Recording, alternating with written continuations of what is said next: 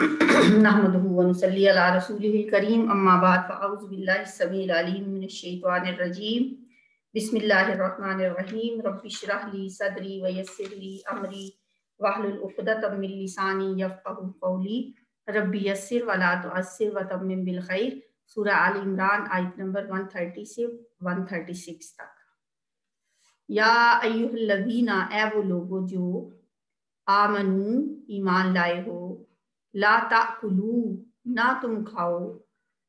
ला ताकुलु रिबा, ना तुम खाओ सूद। अज आफम मुजाफत कई गुना बढ़ा चढ़ाकर।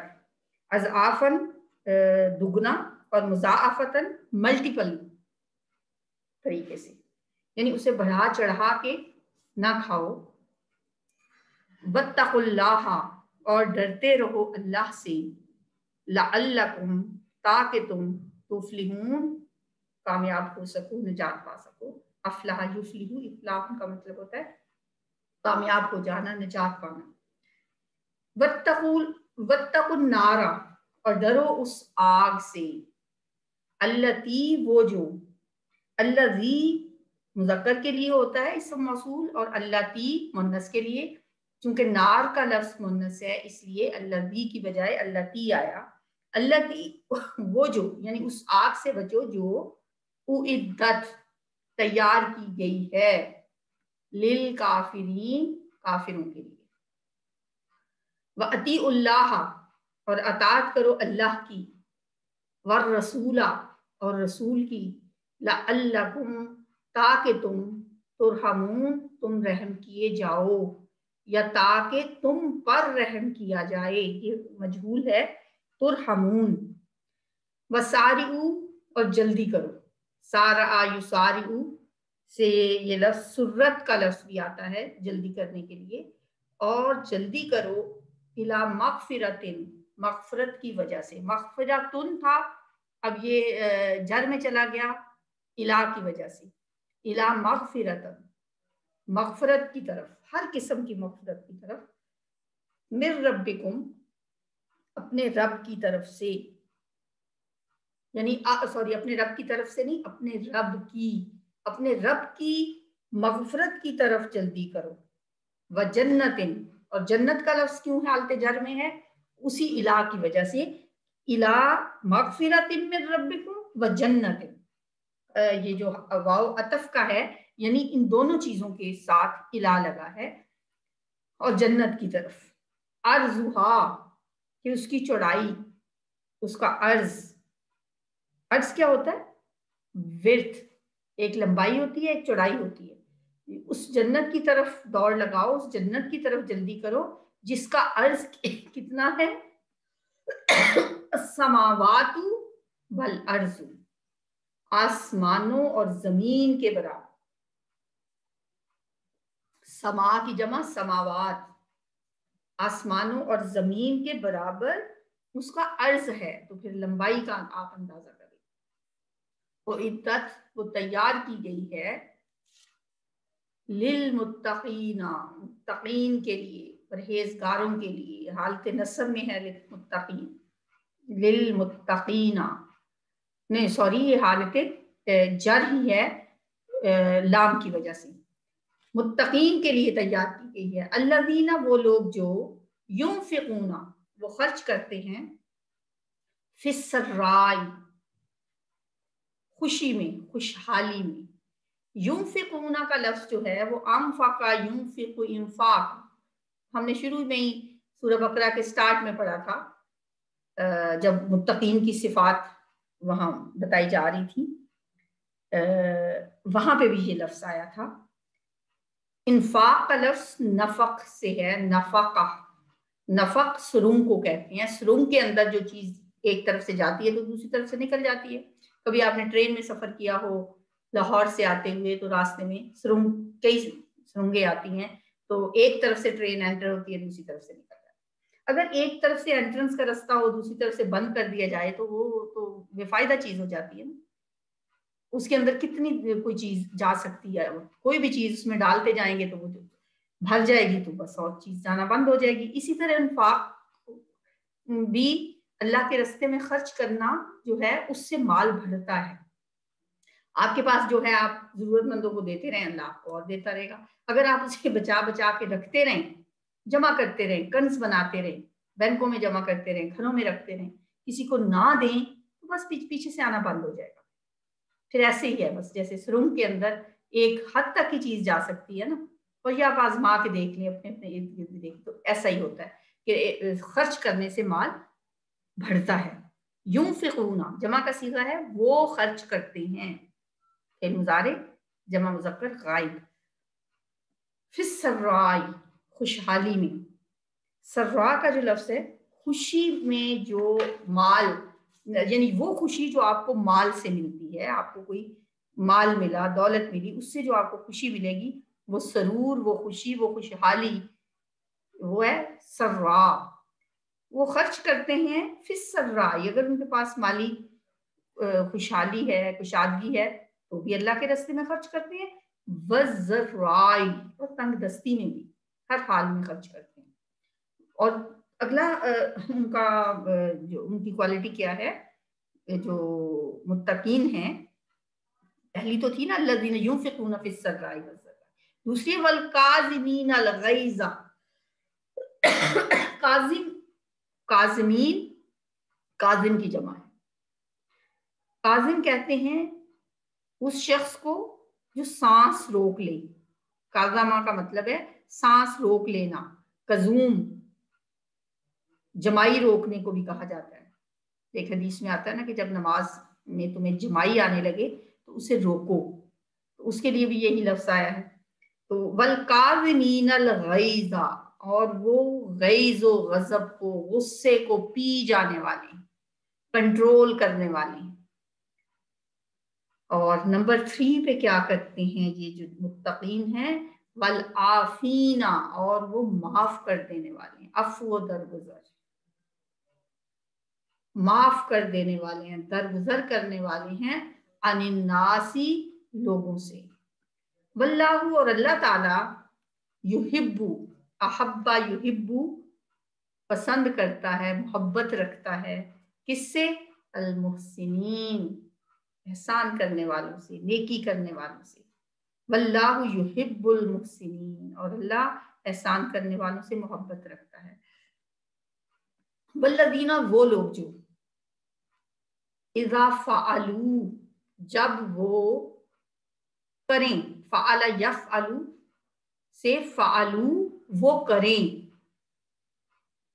फिल माजी, जमा मुजक्कर गायब, जब वो कर बैठे या कर गुजरे या वो करें, फाहिशतन, कोई भी फाहिशा काम, कोई भी बुरा काम, कोई भी बेहयाई का काम, कोई गलती उनसे हो जाए, औ जालमू या वो जुल्म कर बैठे, जालमा यजलिमू से, फेल माजी, जमा मुजक्कर गायब का सीगा, जालमा जालमा, जालमू, वो सब अगर जुल्म करें आंफुसहम अपने आप पर, नफ्स की जमा आंफुस अपने नफ्सों पर, अपनी जानों पर तो फिर क्या करें?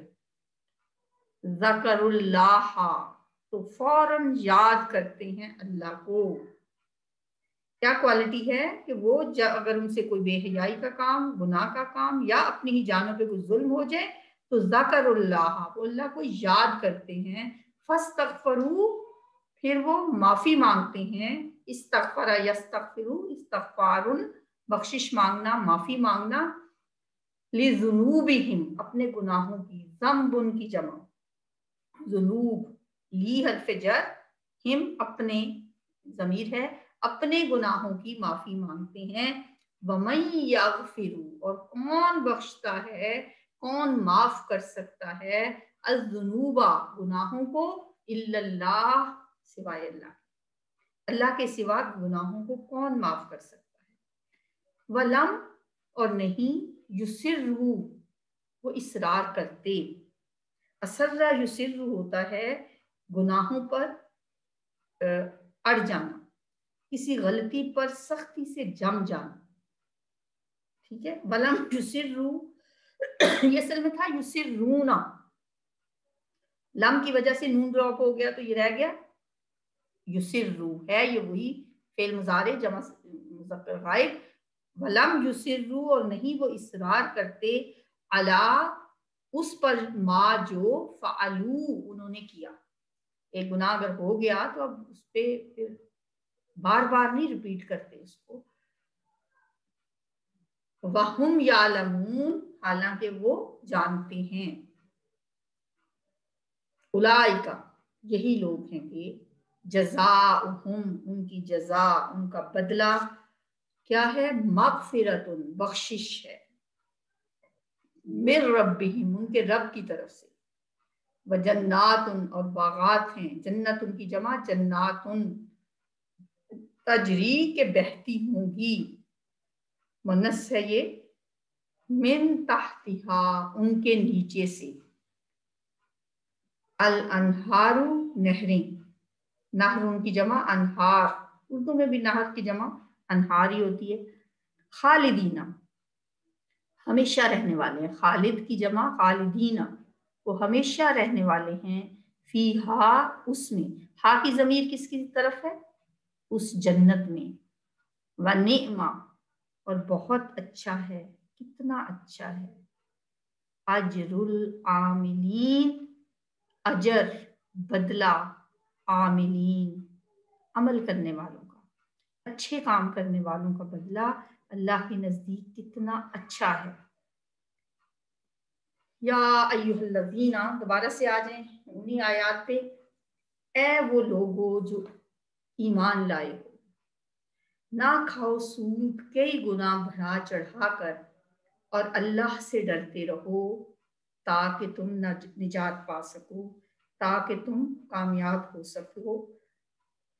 चूँकि गजवा उहद का ज़िक्र हुआ है ना पीछे, और गजवा उहद में नाकामी जो हुई मुसलमानों को नबी सल्लल्लाहु अलैहि वसल्लम की नाफरमानी की वजह से हुई। मेन तो ये एक था, इसका फैक्टर और दूसरा माल की मोहब्बत भी थी। माल दुनिया के लालच की वजह से भी हुई थी। इसलिए अब दुनिया की तमा और माल की मोहब्बत और लालच जो है और देखा जाए तो उसकी सबसे बदतरीन और भयानक जो शक्ल है ना, वो सूद है। इसलिए यहाँ सूद से मना किया जा रहा है।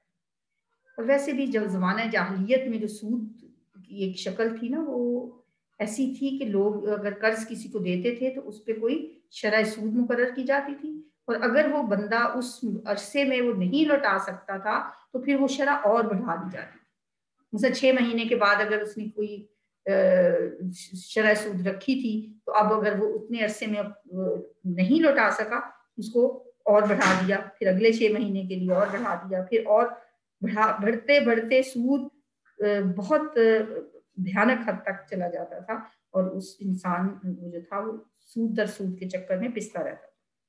इसलिए इससे मना किया जा रहा है। और ताकीद की जा रही है अतात की। और बढ़ा चढ़ा कर सूद ना खाओ का ये मतलब भी नहीं है कि बढ़ा चढ़ा कर ना खाओ तो वैसे खा लो तो जायज़ है, बल्कि सूद कम हो या ज़्यादा हर हालत में हराम जैसा कि पहले गुजर चुका है। और सूद का जो है ना आयात सूद के बारे में, ये पहली दफ़ा इस सूर्य आले इमरान में सूद की हुरमत आई है। इससे पहले जो हम पढ़ चुके हैं ना सूर्य बकरा में पूरा एक रुकू हमने पढ़ा था, जिसमें ये था कि सूद खाना, ऐसा है सूद लेना जिस तरह अल्लाह के साथ खुली जंग है, वो आयत जो है, वो सबसे पहले तो पहली जो आयत नाजिल हुई थी, वो तो थी मक्का में एक सूरह रूम में, उसमें सूद का तस्करा आया था, ठीक है? उसमें तस्करा कर दिया गया था सूद का मतलब उसकी नापसंदीदगी का इजहार, जिस तरह शराब की हुरमत भी तीन मरहलों में आई है। तो फिर उसके बाद दूसरे नंबर पे हुरमत की पहली आयत यही है, यहाँ पे जो है ये दूसरे नंबर पे आई है। तीसरे नंबर पे जो है वो, जो हम पीछे पढ़ के आए हैं, सूरह बकरा का वो बाद में नाजिल ठीक है? तो ये तीन हैं इसके सूद की हुरमत की तीन जो आयात हम इस तरतीब में देखते हैं। अच्छा सूद जो है जी, ये क्यों हराम करार दिया गया है कि जिस तरह मैंने आपको बताया कि ज़माना जाहलीत में ये बहुत आम रवाज था और जब अदायगी की मुद्दत आ जाती है और अदायगी मुमकिन ना होती तो मजीद मुद्दत में इजाफे के साथ सूद में भी इजाफा होता चला जाता। जिसकी वजह से थोड़ी सी रकम भी बढ़ चढ़ कर कहीं से कहीं पहुँच जाती है और एक आम आदमी के लिए उसकी अदायगी बहुत मुश्किल होती थी तो अल्लाह ने फरमाया कि अल्लाह से डरो और उस आग से भी डरो जो काफिरों के लिए तैयार की गई है। जिससे एक तंबीह करना मकसद है कि सूद खोरी से बाज आ जाओ, वरना ये काम जो है, ये सूद का जो हराम काम है, तुम्हें कुफर तक पहुँचा देगा और जहन्नुम फिर तुम्हारा अल्लाह से डरो के साथ साथ में बत्ता को नारा अच्छा ये क्यों कहा गया? देखिए बत्ता को ला भी ठीक है। जो अल्लाह से डर रहा है, वो आग से भी डर रहा है। लेकिन अल्लाह को नज़र नहीं आ रहा ना किसी को। आग तो नज़र आती है। जब कभी आप देखें कि रोटी पकाते हुए कभी भाप भी लग जाए थोड़ी सी हाथों पे तो इतनी उसकी जलन होती है, फ़ौरन मुँह से निकलता है अल्लाह नहीं अल्लाह इस आग से बचाना। ये आग चूँकि नज़र आ रही है ना इसलिए फरमाया इस आग से डरो जो काफिरों के लिए तैयार की गई। और इससे बचने का तरीका क्या है? अती रसूला अल्लाह और उसके रसूल की अतात करो ताकि तुम पे रहम किया जाए। तुम रहम करना रहम जिस पे हो गया तो जन्नत तो उसको मिल गई। नबी सल्लल्लाहु अलैहि वसल्लम की एक हदीस है हदीस उदसी है कि अल्लाह ताला फरमाते हैं जन, जन्नत से अंति रहमती तू मेरी रहमत है। जन्नत तो अल्लाह की रहमत है, जिस पे रहम हो गया, उसे तो जन्नत मिल गई। अच्छा तो इसके बारे में जो अगली आयत आ रही है वसारिला मगफिरत, और दौड़ लगा दो, जल्दी करो लब को अपने रब की बख्शिश की तरफ़ और उस जन्नत की तरफ़ के उसका अर्ज़ आसमानों और ज़मीन के बराबर। और वो मुत्तकीन के लिए तैयार की गई है। काफरों के लिए क्या तैयार की गई है? आग। और मुत्तकीन के लिए क्या? जन्नत तैयार की गई है। और उसका अर्ज़ ज़मीन और आसमान के बराबर है। नबी वसल्लम से पूछा कुछ सिहाबा ने कि अगर जन्नत का अर्ज़ ज़मीन व आसमान जितना है तो जन्नत कितनी बड़ी होगी? फिर जहन्नुम कहाँ होगी? आपने फरमाया, जब रात आती है, हर चीज़ पे छा जाती है, उस वक्त दिन कहाँ होता है और ये अल्लाह की कायनात बहुत वसी है। अभी तो खैर उस जमाने में तो इतना लोगों को पता नहीं था। अब तो साइंस ने इतनी तरक्की कर ली है। कभी कभी हम देखें ना प्लानिटेरियम या कोई सर्च करके देखें कि ये कायनात में जो सैारे जो हैं और मतलब जितनी ये गलेक्सीज हैं, मैं कहती हूँ लगता है इंसान क्या ये दुनिया एक जर्रे के बराबर नज़र है।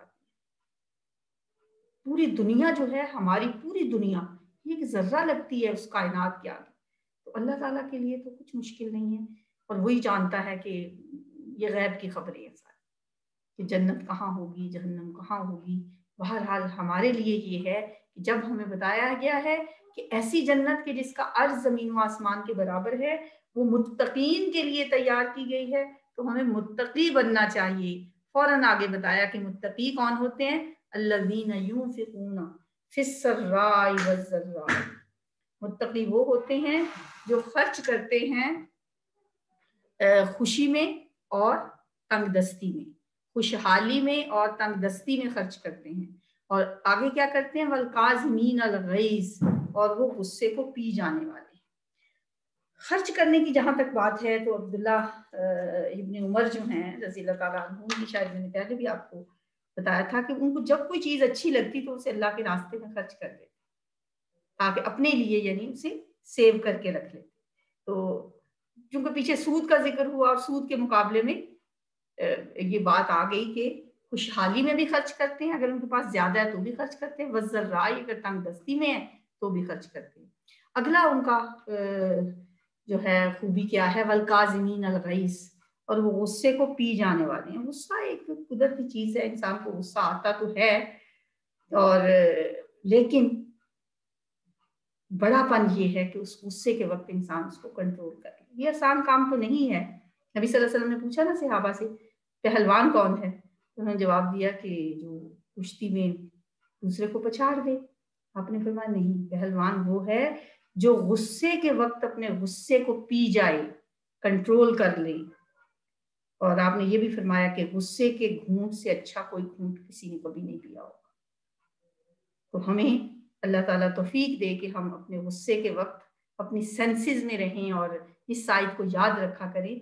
वलकाजमीन अलगईज मुत्तकीन वो होते हैं जो गुस्से को पी जाते हैं। सिर्फ़ गुस्सा पी ही नहीं जाते, बल्कि आगे क्या करते हैं? वल आफीन अनिन्नास और लोगों को माफ़ भी करते हैं। अच्छा यहाँ वाओ मिस प्रिंट है शायद, या इसी वजह से रह गया वल आफीना है वल आफीना अनिन्नास और वो लोगों को माफ़ कर देते हैं, गुस्से पे कंट्रोल करते हैं, और गलतियों को दरगुजर कर जाते हैं। वल्लाह युहिब्बुल मुहसिनीन, और अल्लाह ऐसे मुहसिनीन से मोहब्बत रखता है। मुहसिन कौन होता है? एहसान का दर्जा, पहले इस्लाम, फिर ईमान, फिर अला दर्जा, एहसान का जो है, जो मुहसिन बन गया, बस फिर अल्लाह उससे मोहब्बत करता है। वल्लदीन फाहिशतन। और ये वो लोग हैं, जब कोई बुरा काम कर बैठे या जुल्म कर बैठे अपने आप पर तो फ़ौरन अल्लाह को याद करते हैं बस माफ़ी मांगते हैं अपने गुनाहों की। तो कौन माफ़ कर सकता है गुनाहों को अल्लाह के सिवा? अल्लाह ही माफ़ करने वाला है। अल्लाह ताला को गुनाहों पे माफ़ी बहुत पसंद है। जब कोई इंसान गुनाह करके अल्लाह से माफ़ी माँगता है ना अल्लाह बहुत खुश होते फरमाया तमाम बनी आदम खताकार है। तमाम इंसान खताकार हैं। बेहतरीन खताकार वो हैं जो खता करने के बाद अल्लाह से माफ़ी मांग लेते हैं। इबलीस ने कहा था ना, अल्लाह ताला से कि मैं बनी आदम को आखिरी दम तक बहकाता रहूँगा। आप अल्लाह ने भी कसम खा के फरमाया था कि मेरे बंदे जब गुनाह करके मेरे पास आएँगे, माफ़ी मांगेंगे तो मैं उनको माफ़ कर दिया करूँगा। तो जो देखें इबलीस और आदम में क्या फ़र्क था? इबलीस गुनाह करके उस पर इसरार किया उसने। और हज़रत आदम इस्लाम ने गुनाह करके माफ़ी मांग ली, अपने गुनाह का इतराफ कर लिया। तो मुत्तकीन कौन होते हैं? जब उनसे कोई गुनाह हो जाए, कोई गलती हो जाए, अपनी जानों जानों पे जुल्म कर बैठे तो वो अल्लाह का ज़िक्र करते हैं, अल्लाह को याद करते हैं, अपने गुनाहों की बख्शिश मांगते हैं, और अल्लाह के सिवा कौन गुनाहों को माफ़ कर सकता है? और वो इसरार नहीं करते इस पर जो किया। वलम फालू ये नहीं कि एक दफ़ा गलती हो गई तो बस करते ही चले जाएँ, करते ही चले जाएँ। इस तरह दिलों पे जंग लग जाता है दिलों पे दिल स्याह होते चले जाते हैं। लेकिन जो ही इंसान से गुनाह हो जाए, फ़ौरन उस पर अल्लाह से माफ़ी मांग लेनी चाहिए। वलम युसरु फालू वहम और वो जान, जानते हैं इस बात उलाई का यही वो लोग हैं जिनके अंदर ये क्वालिटीज पाई जाती हैं। पहली क्वालिटी क्या थी? वो खर्च करते हैं खुशहाली में भी और तंगी में भी। दूसरी गुस्से को पी जाने वाले हैं, तीसरी माफ़ करने वाले हैं, चौथी वो एहसान करने वाले हैं। पांचवी वो जब उनसे कोई गुनाह हो जाए तो अल्लाह का ज़िक्र करते हैं, फिर ये कि अल्लाह से बख्शिश मांगते हैं और फिर ये कि वो इसरार नहीं करते गुनाह पे। ऐसे सात काम जो लोग करेंगे उलाई का जजा यही लोग हैं कि उनकी जजा बख्शिश है उनके रब की तरफ़ से। वजन्नात उन तजरीम इन अनहार और बागात हैं जिनके नीचे से नहरें बहती हैं। खालिदीन फीहा उसमें हमेशा हमेशा रहेंगे। नीमा अजरुल आमिलीन, कितना अच्छा बदला है, अच्छे काम करने वालों का। अल्लाह ताला से दुआ है कि अल्लाह ताला हमें ये क्वालिटीज अपने अंदर पैदा करने की तोफीक अता फरमाए और हमें कुरान पढ़ के उस पर अमल करने वाला बनाए और हमसे कोई कुरान पढ़ने में समझने में कोई गलती कोताही हो जाए तो अल्लाह ताला से माफ़ फरमा दे अब हम नायात की तिलावत सुनते हैं